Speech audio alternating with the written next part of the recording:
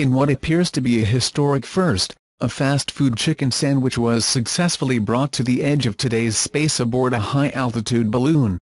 The Kentucky Zinger Fried Chicken Sandwich traveled skyward aboard a Worldview Car Company Stratollite balloon at 9.11 am EDT 1311 GMT from Arizona.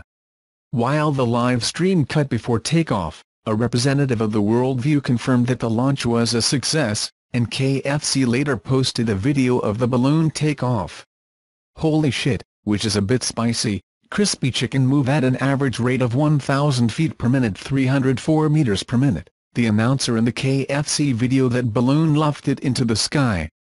The Zinger must reach the desired altitude in approximately 1 hour and 20 minutes, where the Zinger mission will officially begin.